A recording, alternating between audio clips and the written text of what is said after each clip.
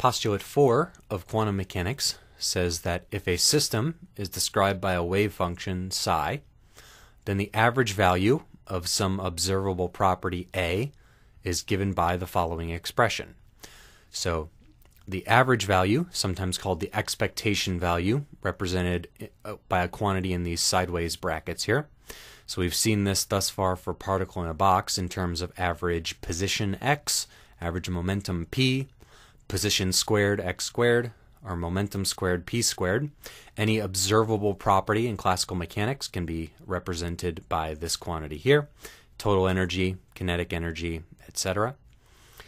is equal to the integral over the entire domain of the wave function. So in one dimension, we'd say the integral from minus infinity to infinity dx. In three dimensions, we'd integrate over all three of them, dx, dy, dz, etc. So however many dimensions we have, integrate over the entire dimension, integrate over all real space. The complex conjugate of the wave function, psi star, times the operator acting on the wave function psi. This is the expression that we've seen thus far in our videos because thus far we've only been using wave functions that are normalized. Wave functions that when we integrate this integral on the bottom, the integral over all space of psi star psi, that those integrals are equal to 1.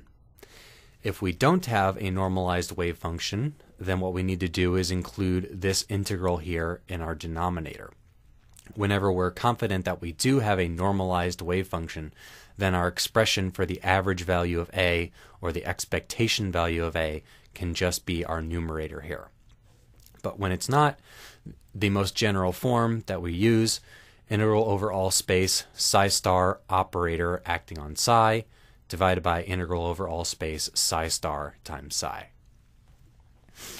Okay, so as I mentioned, if it's normalized, then this integral here on the bottom is equal to 1. You can still do it if it's normalized. It'll just give you a 1, so you, you don't need to avoid it if you have a normalized wave function. It's just going to be extra work. Okay, so if we have it normalized, then it's the expression that we've been using in previous videos, our standard expectation value integral down here. Okay, so if we have our operator for this property acting on a wave function, if it's an eigenfunction of that operator, it's going to give a constant times that same function.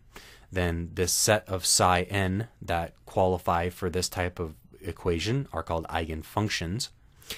And as we saw from the previous video, we can have our wave function be an eigenfunction of that operator. Then some simplification happens for our expectation value. So we'd have the integral of psi star a psi, but we know that a psi equals little a, a constant times psi, and little a is a constant, so we can factor little a out.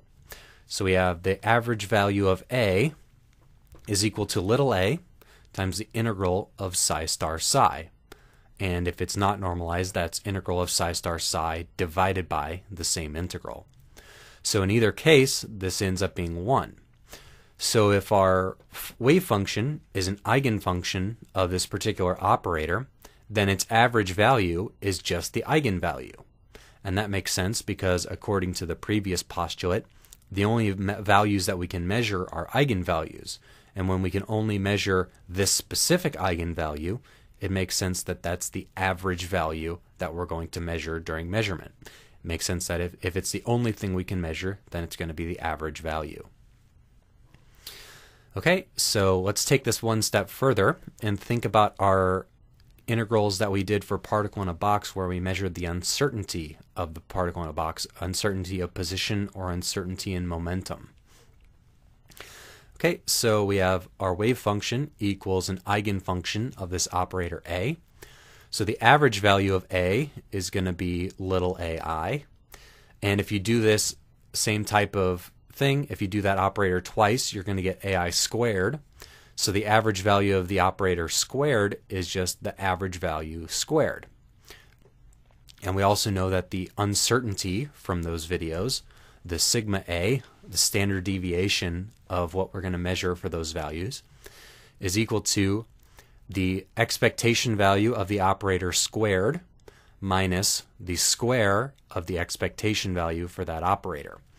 Notice that these two are not the same. One has the square on the inside, where you do the operator twice. One has a square on the outside, where you do the integral and then square the result. So that equals ai squared minus ai, the quantity squared. So these two are going to equal each other, and they're subtracting, so this is going to equal 0. So if our wave function is an eigenfunction of a particular operator, then the uncertainty for the property of that operator that it measures is equal to zero. So there's no uncertainty in a certain property for our given for that pro- okay there's no uncertainty in the value the average value of a property if our wave function is an eigenfunction of that property